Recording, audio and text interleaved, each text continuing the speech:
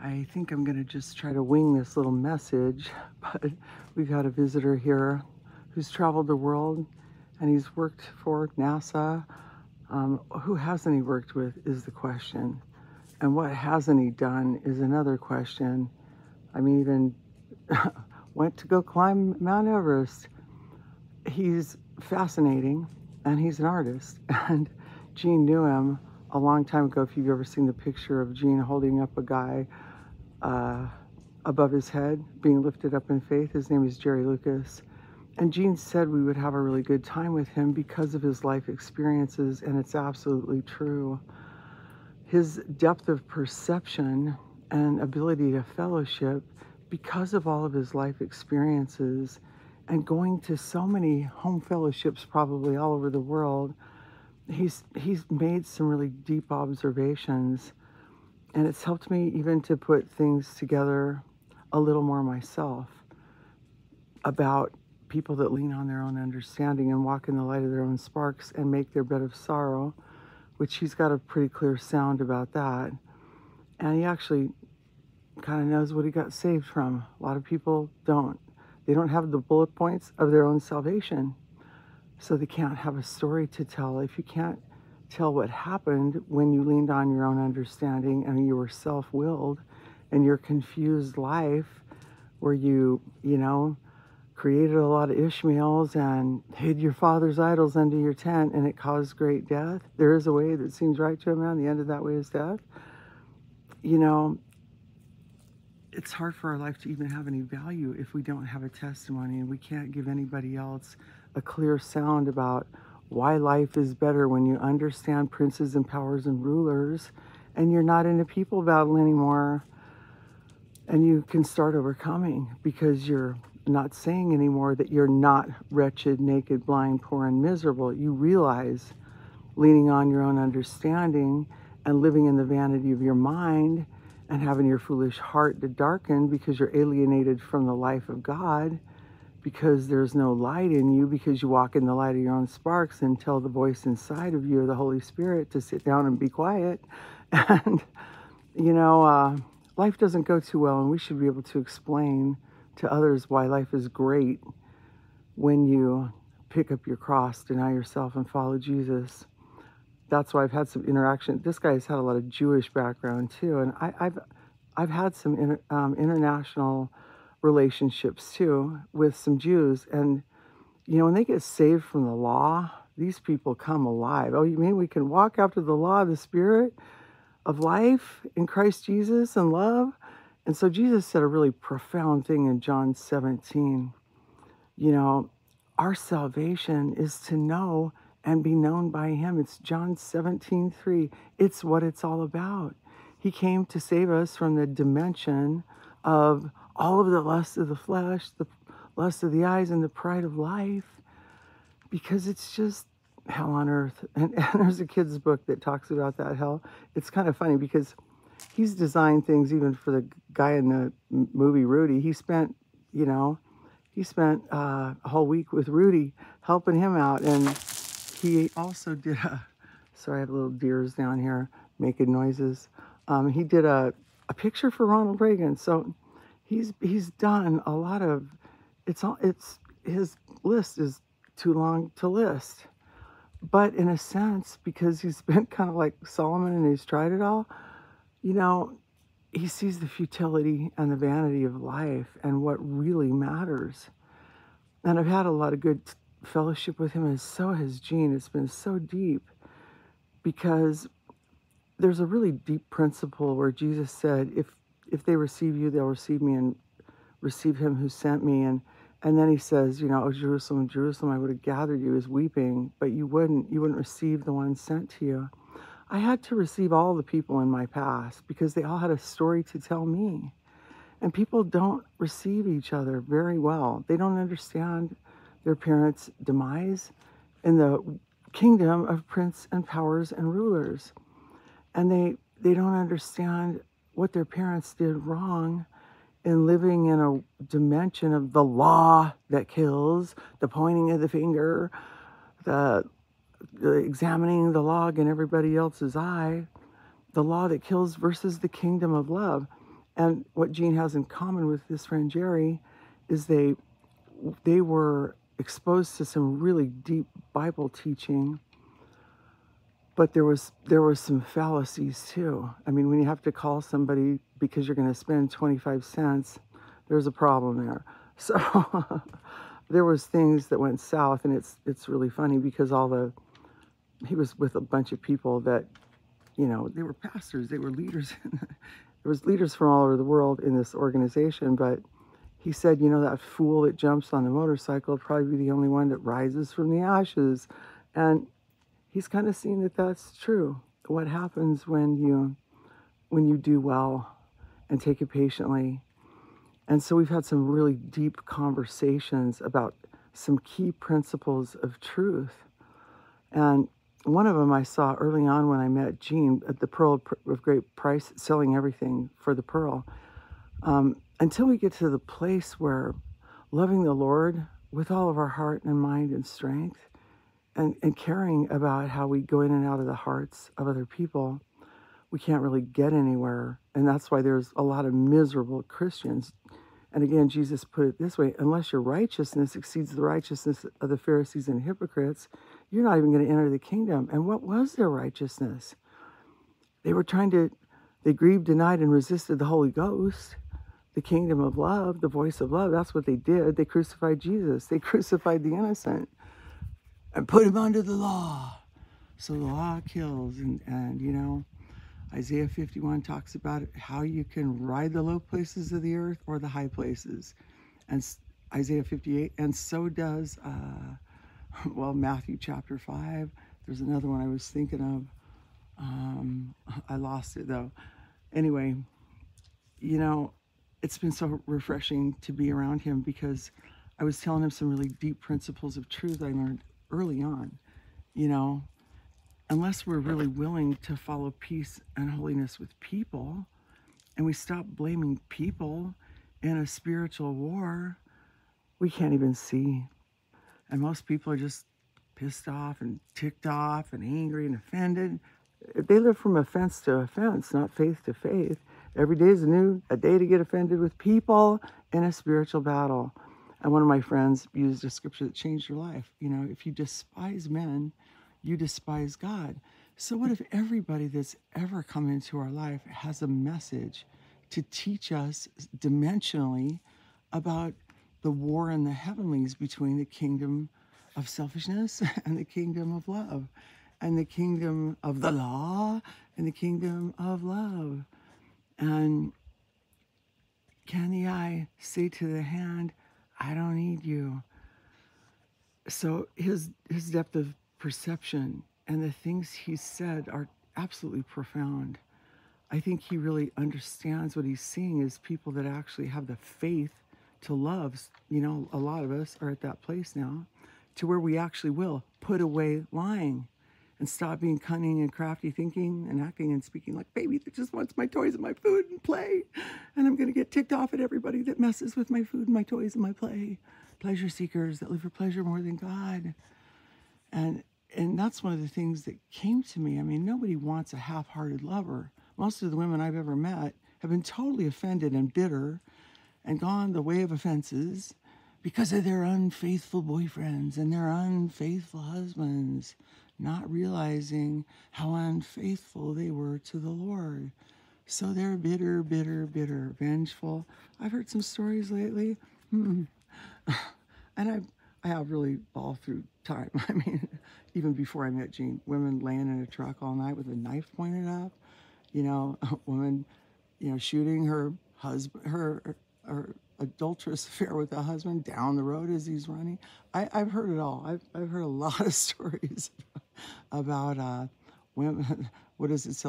Hell hath no fury like a woman who's been forsaken. And most of those women don't take a time to really think about how they run off with their lovers. So I think I'm going to end it with this because when we lean on our own understanding, we are stuck in a people battle. And a lot of people, you, you can't even reach their heart because everything is calculated through their own understanding, not their heart, love, spiritual perception. and everything is about safe places, zones. I mean, look at the world we're living in. Bars of the castle. I don't feel safe. I don't feel comfortable. So, you know, if you're not really willing to hang in there with conflict either, we were talking about how just treacherous the spirit of indifference is. It's it's such a murderous spirit. We're indifferent to the Lord, we're indifferent to people.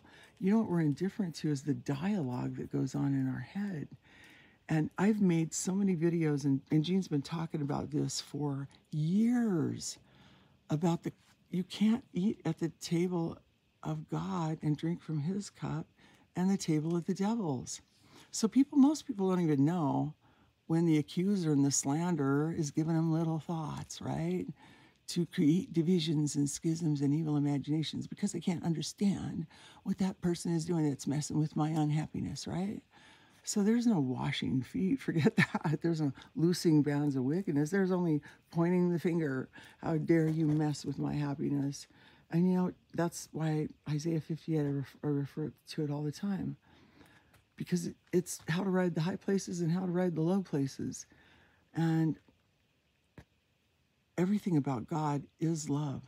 And God has poured out his love over all mankind in the fact that he's merciful and his mercies are new every morning. But there's a recipe to get his mercy. The rich man that walked up to Jesus that had all of his other lovers uh, went away empty. And so I've known myself and a lot of women for a lot of years, a lot of them. And some of those women actually got to the place where they were willing to throw it all away for buying the pearl. And I met a lady, and she is. It, what's really incredible about this story is I didn't know Gene very well, and these two people came up to an altar. There's probably 150 people there. Two people randomly, and a crowd of a bunch of people that nobody knew. And Gene says, "Are you guys married to each other? Are you having an affair? I mean, how does even somebody see that?" And you know, I, I ended up telling this lady that Jesus isn't a barfly. He doesn't want to be number two on the list. He doesn't want to be number five, and he doesn't want to be number 10. And, and that's what's really sad because you can't find mercy until you seek the Lord with all your heart. You'll be found by him, you'll find his mercy. And when you're wholehearted and sincere, you know, so I've watched some people that have known Gene 40 years that have never found mercy. And I was thinking about that. I read all kinds of scriptures about it last night that there really is a recipe for baking the cake. And it is true honesty and sincerity about the shipwreck to people's lives that goes on when you're they're pleasure seekers. Everything evil that's going on in the world today is because people love pleasure more than God, so they can't love their brother. And it's all a tragedy from there. And most women don't see you know, their fangs in the past, their claws in the past, their teeth in the past, their selfishness. So it's really hard when you have an ounce of self justification for why you took somebody down and blaming them for taking you down. And, you know, that's one thing I, it's really come to me lately too is the spirit that's at work in the children of disobedience. When people don't care about the war between the flesh and the spirit and the war between the happy place and the look at this deer looking at me. Hi, sweetie. you want me to give you some nuts?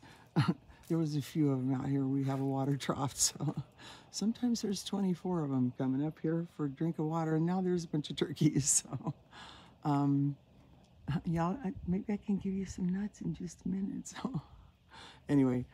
I have these little deer pellets too, so they come for these little round deer pellets we buy for probably horses. Anyway, um, there's a spirit at work in the children of disobedience. And one scripture puts it like this they wear out the saints.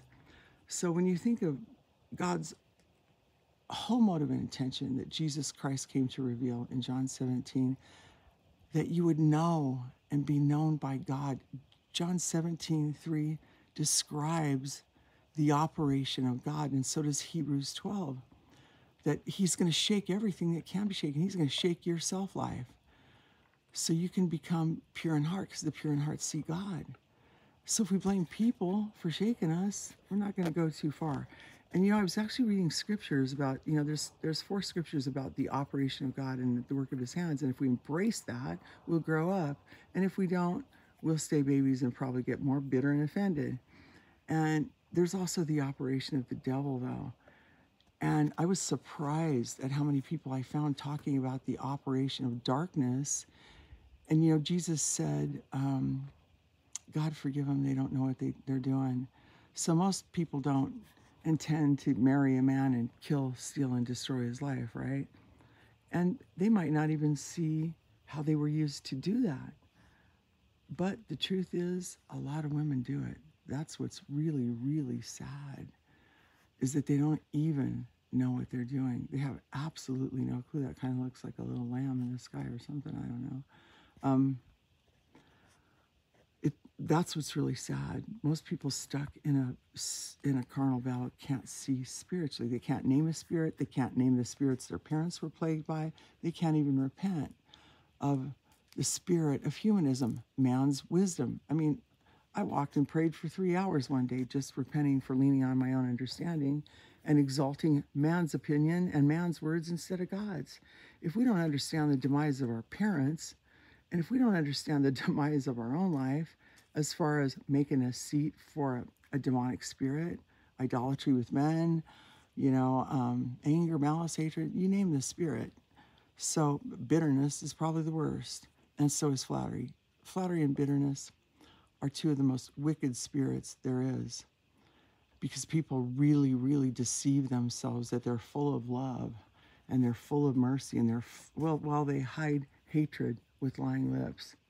And again, it's interesting how when people are pressurized, their list against you will, will come out.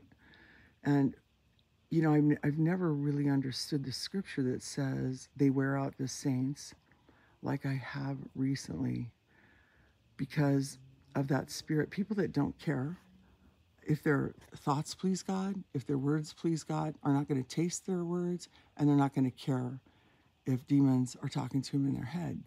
So it's all going to play out really bad. They can only be used to take people down and they don't even know they're doing it because they flatter themselves in their own conceit while they love the power of a wrong spirit and they don't have holy communion. They have communion with devils and don't even know that they're advancing the kingdom of darkness, which that's the devil's operation is to make sure that we get shut down from advancing God's kingdom that we get shut down, that our lips get shut, that we get sick, weak, and we go to sleep, that we don't take ground for the one whose words are spirit and life that comes to heal and deliver us and free us from the hand of the enemy so we can live without fear and bondage. And that's what's so cool is is uh, Jerry's perception spiritually and his ability to have input in that because of his world travels and all of his ministry experiences has been a true delight. It's been a refreshing spring, actually. And uh, I just wanted to talk about these things a little that have been going on lately. And I just pray that if you're listening to this, that you would search for the Lord with all your heart because you'll be found by him. And if you tell the Lord the real truth, you'll find mercy. If you only tell him 95%, 50%. We have to own our selfish past where we exalted man's wisdom and just took people out. And there's a lot of people that just can't do that. And that's how the devil seals their lips shut. They couldn't make sense of a testimony. They don't even know what they were delivered from because they're not. And you know, we, we were not, that's not the normal Christian life to never be able to give a testimony and make a clear sound about what Jesus saved you from. And I pray if you're one of those people that God help you find mercy and God help you use your mouth to, to do this. The testimony of the Lord is sure, making wise the simple. What a waste of time that you can't help somebody become wise and that you've used everybody that you know to make you wise, but you don't care about turning around and loving them. That's the worst condition people can be in is the righteousness of the Pharisees. Amen.